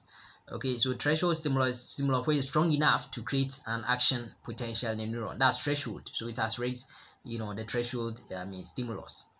Then we also have a submaximal stimulus. Okay, that stimuli of increasing strength that create more action potential along more neurons. That's sub, you know, maximal, you know, stimuli. Then we also have maximal stimuli you know, where stimulus uh, which is strong enough to create an action potential in an all in all the motor neurons innervating the whole muscle. So these are some areas, some aspects that I mean we have to actually understand that if a muscle will have to contract, then you know there should be the action potential should be enough for that muscle to contract. If it's below the level, then it won't contract at all if it is enough then it will contract. So it's working in an all or none phenomenon. Now having seen the neuron now one other thing which is also part of the cells in the nervous system although that's not excitable and those cells will help in protection help in insulation help in feeding you know repair and all that okay? And those cells are referred to as neuroglial cells or simply we call them glial cells. And these glial cells we can divide them broadly into two okay?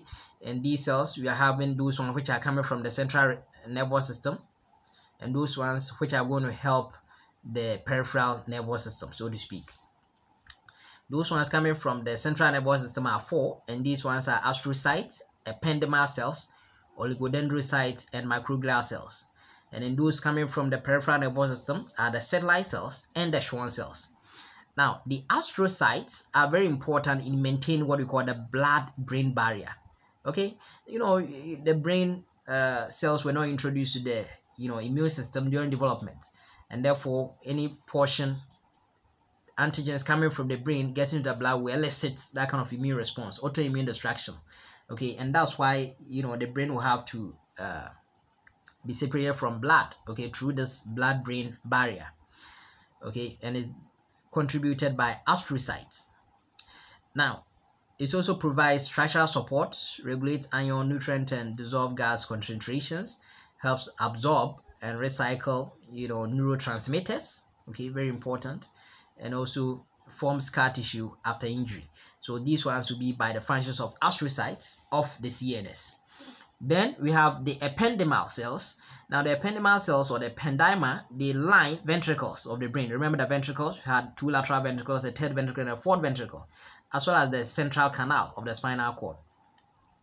By so doing, it assists, okay, or these cells assist in producing, circulating, and monitoring the CSF. They also contribute to CSF formation.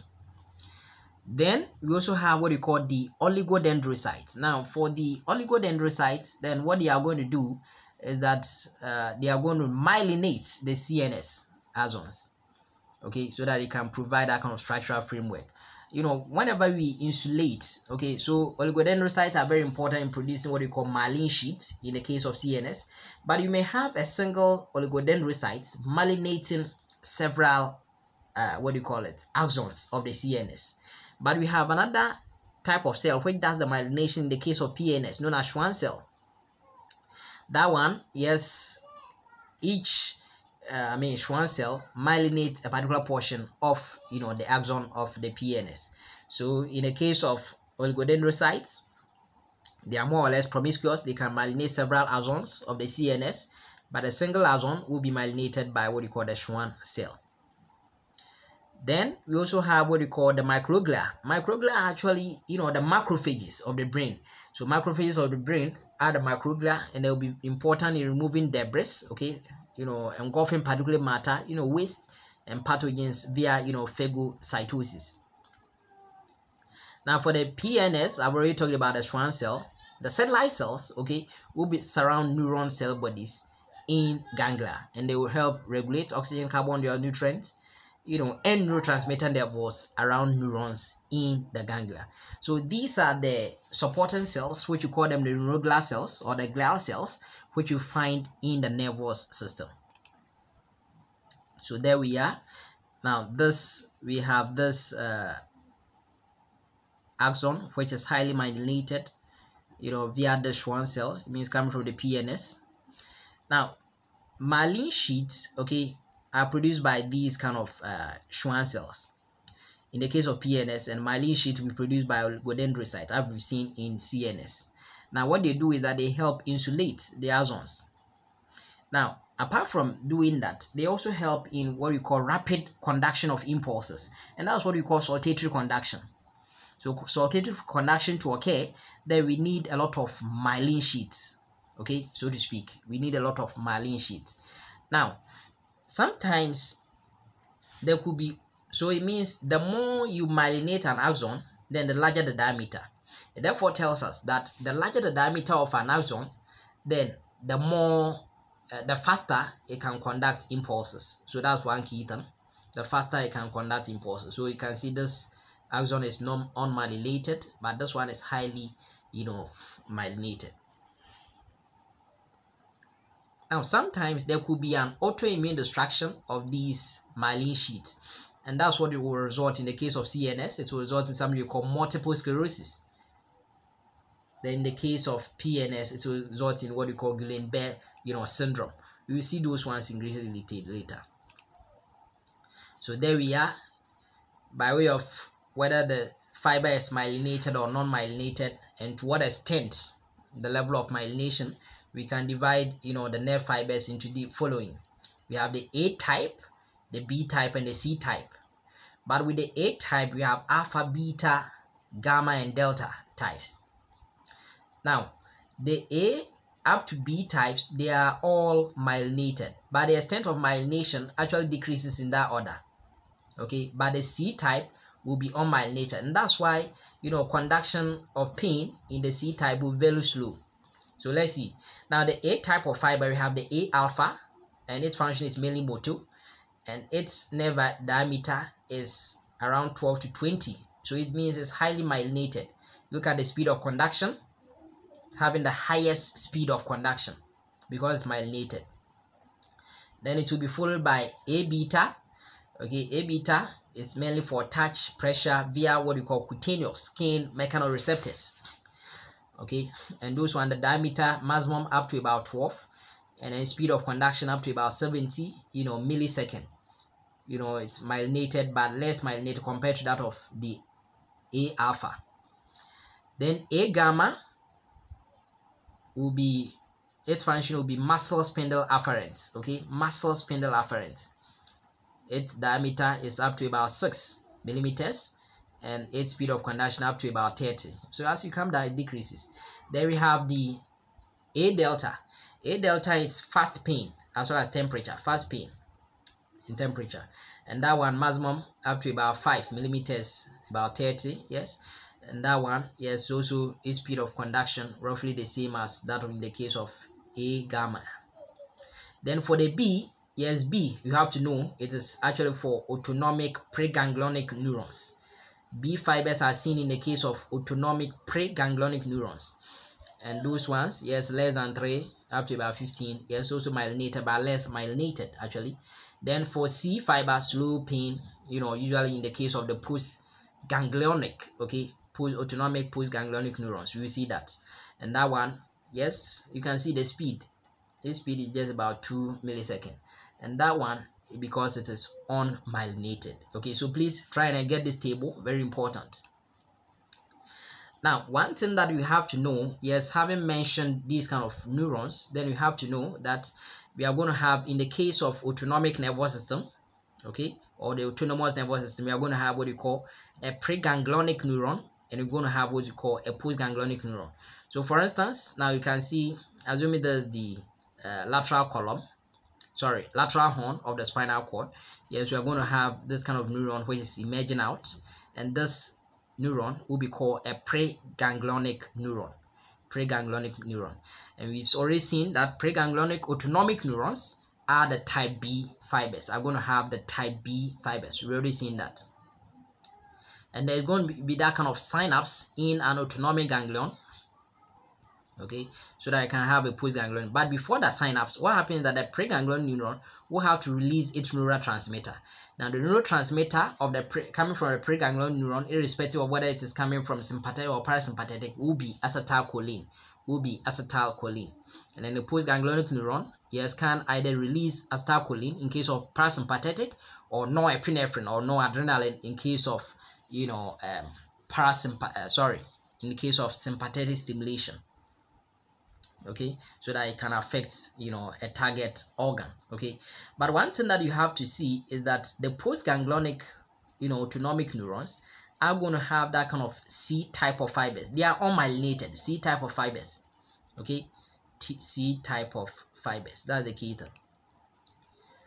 So now anytime we talk about sympathetic nervous system okay sympathetic nervous system we are talking about the thoracolumbar outflow and usually start from T1 all the way to T12 together with L1 to L2 or even sometimes L3. So T1 to L2 or T1 to L3 will be the thoracolumbar outflow. And then, you know, one thing is that it's coming from the lateral horn, which I showed you. And then the parasympathetic nervous system will actually coming from the craniosacral outflow. We'll have this craniosacral, so coming from the brain, okay, cranial, and then of course, you know, the spinal cord the sacral portion of the spinal cord. So those nerves that we call them parasympathetic nerves, okay? Parasympathetic nerves are actually cranial nerve 3, cranial nerve 7, cranial nerve 9, cranial nerve 10, you know, as well as, you know, the sympathetic division, uh, sorry, as well as S2 to what we call S4, okay, spinal nerves. So here we are. Yes, I have this parasympathetic nerve okay coming all the way. This is a preganglionic neuron or presynaptic neuron. Now this sympathetic presynaptic neuron. Now one difference is that we will see these ones in greater detail later but what happens is that the preganglionic neuron of the uh, sympathetic nervous system is longer than in the case of the sympathetic neuron. Then likewise sorry in the other way around what happens is that the postganglionic neuron okay of the parasympathetic is shorter compared to that of the postganglion neuron of the sympathetic nervous system. I already told you that whether it is sympathetic, parasympathetic or sympathetic, the preganglionic neuron will secrete what we call uh, acetylcholine. Acetylcholine. And acetylcholine receptors could be muscarinic or nicotinic. Okay. Now, one thing is that yes, the postganglionic neuron, in the case of parasympathetic, will secrete, you know, acetylcholine to affect the target organ. Then of course for sympathetics we secrete what we call norepinephrine. Okay. Now one key thing over here is that for the adrenal medulla, adrenal medulla, you know adrenal medulla is going to secrete epinephrine. Okay. Or is going to secrete adrenaline. Okay. Now what happens is that we don't have any relay taking place in there.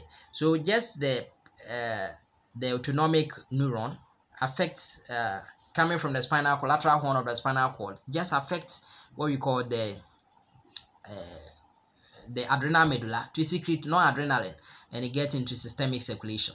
Okay, it gets into systemic circulation. So that is what uh, I want you to know here. So that's what I said. Preganglionic neuron relay in a sympathetic chain. Yes, in the case of sympathetic, uh, so then the postganglion neuron to the effector organ. That's how ha what happens. But in case of the adrenal medulla, there's no relay. Okay, so the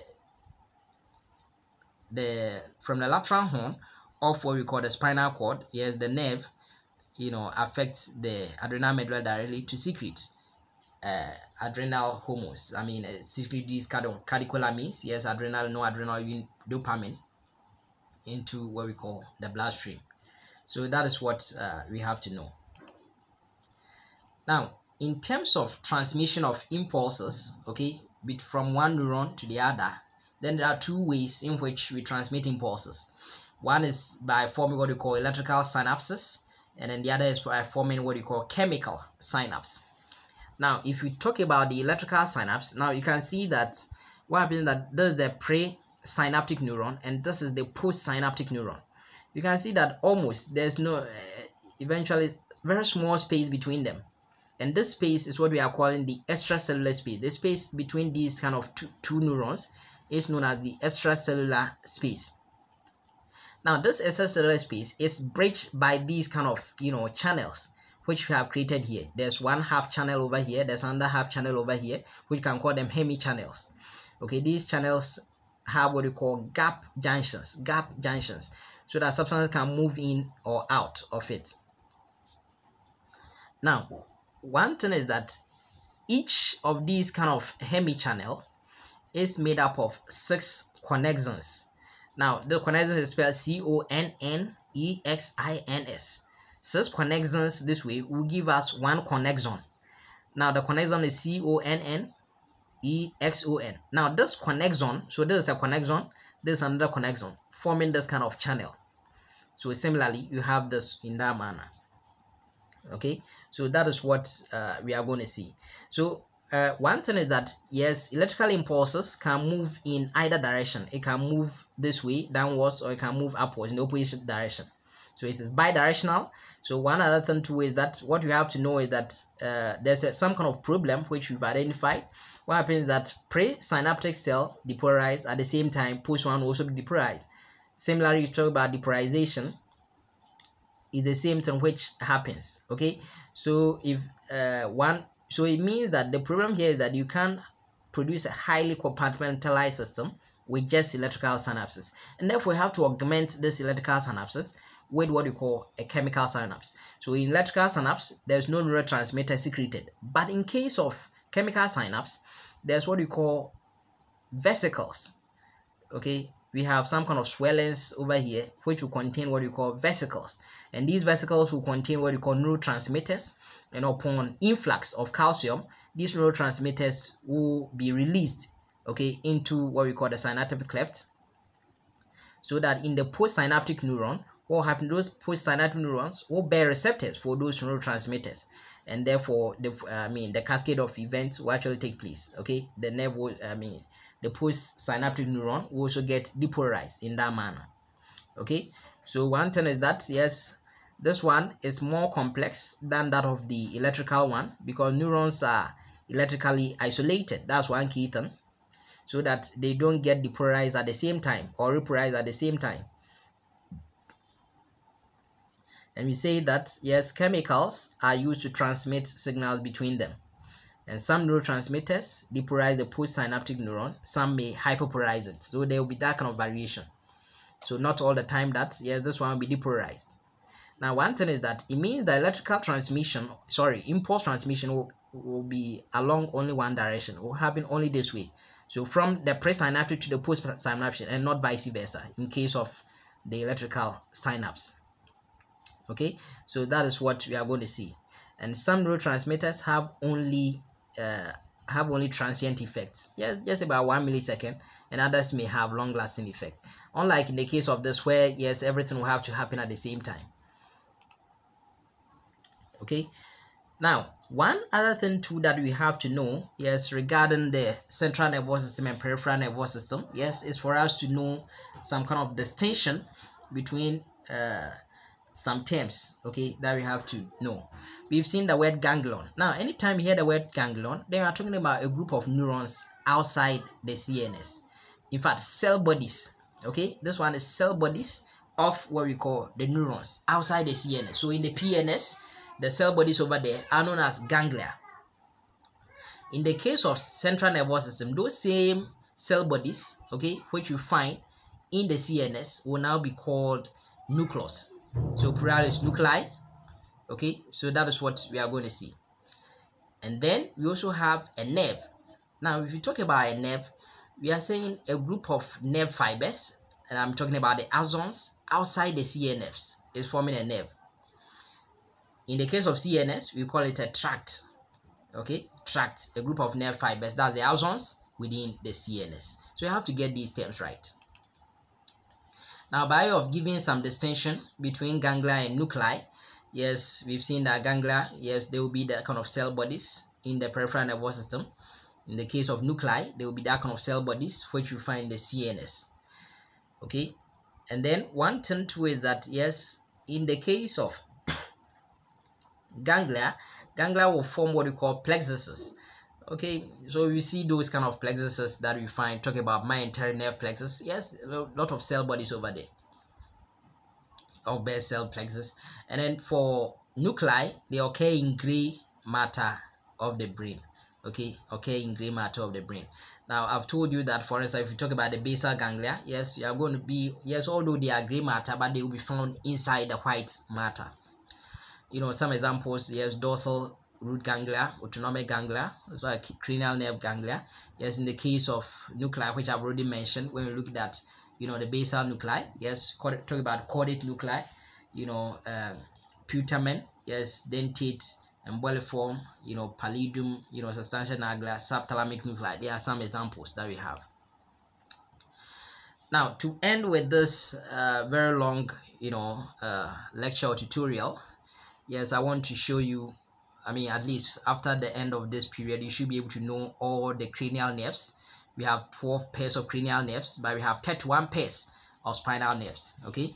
So these uh, 12 pairs of cranial nerves are, yes, the first one cranial nerve one is called olfactory you know uh, nerve yes because helps in olfaction that's in smelling and to be found in specifically in the telencephalon of prosencephalon okay so that one will be very important in special sensation and that type of special sensation is olfaction okay because to be distributed in the olfactory mucosa of you know the nose nasal cavity then cranial nerve 2 will be called optic nerve. Okay, optic has to do with eye vision. Yes, that one will also be coming from this time around diencephalon, okay, of what we call the prosencephalon. And also having a special function because it's going to help, you know, uh, it's going to be distributed in the retina for vision. Now, cranial nerve 3 is called oculomotor nerve. And for oculomotor nerve, oculomotor nerve is coming from the midbrain that's the mesencephalon and it's having motor action so this one is actually going to help something to contract this one is going to help something to sense sensory okay so this is motor oculomotor is motor in action because the name tells us. And it's going to you know supply yes intraocular muscles as well as four of what we call the extraocular muscles. So most of the extraocular muscles except two. Okay so that's what we see. Now the next one is the cranial nerve 4, and that's what we call trochlear nerve. Okay, so for trochlear nerve, it's also found in the midbrain, the mesencephalon, and it's also motor in nature because uh, trochlear nerve, yes, uh, will be supplying what we call the superior oblique muscle. One of the extraocular muscles will be supplied by the trochlear nerve. Now, the next nerve, which is cranial nerve 5, is known as trigeminal nerve. Now, trigeminal nerve, yes, is in the pons specifically, okay metencephalon okay pons and it's actually a mixed nerve trigeminal nerve is a mixed nerve having both motor function as well as sensory function and what happens is that yes it's going to distribute over areas coming from derivatives of the frontonasal processes as well as of course the first pharyngeal arch. You know of course you know first pharyngeal arch you know muscles of mastication for instance. Okay that's why of course you know this trigeminal nerve have actually three parts. We have the mandibular division uh, uh, uh, what do you call it? You know maxillary division you know all those ones okay? So we'll be coming from this area. So for instance the mandibular division will be supplying muscles of the first pharyngeal arch. Uh, you know usually we look at all those ones being the mandibular nerve. Then of course cranial nerves that's the abducens nerve abducens nerve coming from the i mean brain stem especially spe specifically okay uh, specifically coming from what we call the junction between the pons and the medulla. Ponto medullary junction. Ponto medullary junction is also having motor action because supplying one of the extraocular muscles that's the superior so lateral rectus muscle lateral rectus muscle will be supplied by what we call the abducens nerve. And then cranial nerve 7 is a facial nerve you know facial nerve also coming from brainstem but actually specifically coming from the ponto medullary junction. Now facial nerve is a mixed nerve because having both you know motor and of course uh, what you call sensory portions okay facial nerve. And this one will supply you know muscles that are or structures which are derived from the second pharyngeal arch. You know we talk about you know muscles of uh, facial expression facial nerve will supply them. Then we have uh, cranial nerve 8 that's the vestibulocochlear nerve cranial nerve 8 vestibulocochlear nerve also coming from the pontomedullary junction having a special type of sensory function because it's going to be found itself in the internal ear okay to help in hearing as well as you know uh, uh, what you call balancing. Then we have cranial nerve 9. Cranial nerve 9 is the glossopharyngeal nerve. Okay, and that one we find it in the medulla. That's the myelencephalon. It's actually a mixed type of nerve, and it is derived, you know, coming from actually, you know, derivative of the third pharyngeal arch. You know, talk about cranial nerve 10, that's the vagus nerve, also coming from the medulla, that's the myelin myelencephalon. It's also a mixed nerve, coming uh, distributing itself in derivative of the fourth pharyngeal arch. We look at all those ones. And then cranial nerve 11 being the spinal accessory nerve. So the spinal accessory nerve, you know, uh, it's actually, yes, coming from the superior spinal cord, okay? Superior aspect of the spinal cord, mm, just superior aspect of the spinal cord. That's why we call it spinal accessory nerve. And it's actually a, a motor type of nerve because it's going to supply some muscles the superficial neck region okay so talk about uh, uh, you know the sternocleidomastoid you know those muscles yes will be supplied by these ones then cranial nerve 12 being the hypoglossal you know glossal has to do with the tongue coming from the brainstem specifically from the medulla the myelencephalon and it's actually motor in na nature supplying muscles of the tongue muscles of the tongue. So this rather has been a very long you know overview. So in our later sections we will now be delving much into each individual aspect of the nervous system as well as the neuroanatomy i hope you find this helpful. Uh, make sure you subscribe to this channel if it is helpful to you so that in future aspect of the neuroanatomy and other areas of the anatomy yes you will miss any of them. Have a good night and may god richly bless you